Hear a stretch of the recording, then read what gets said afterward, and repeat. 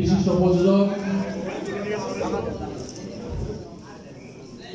প্রযোজক সমিতির তরুণ নেতা যারা খোরশেদ আলম খসরু আপনাদের সামনে বক্তব্য রাখবেন।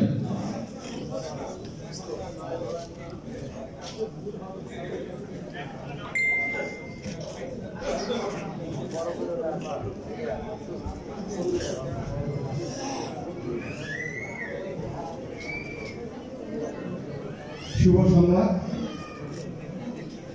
উপস্থিত মাননীয় মন্ত্রী মহোদয়, উপস্থিত ভোলা আসনের এমপি নুরনবী চৌধুরী শাহ আমার বন্ধুবর আমার একসময় কলেজের বন্ধু একসাথে লেখাপড়া করতাম, একই সেকশনে পড়তাম। সাবান মামুন আমার ক্লাস ফ্রেন্ড উপস্থিত। উপস্থিত। বাংলা দেশের চলচ্চিত্রে বরপুত্র সাকিব খান উপস্থিত। পরিচালক সমিতির সম্মানিত সভাপতি মুশফিকুর রহমান গুলজার উপস্থিত। সাধারণ সম্পাদক বদিউল খোকন উপস্থিত। আজকের এই ছবির প্রযোজক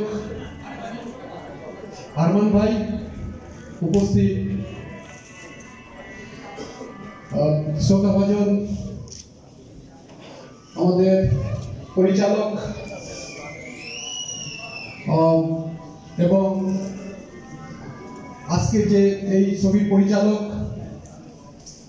জাকির হোসেন রাজু, যিনি একজন পরীক্ষিত প্রযোজক, যার বেলায় একটু বলা যায় যে রোমান্টিক ছবি ওনার কখনোই ফেল করে না।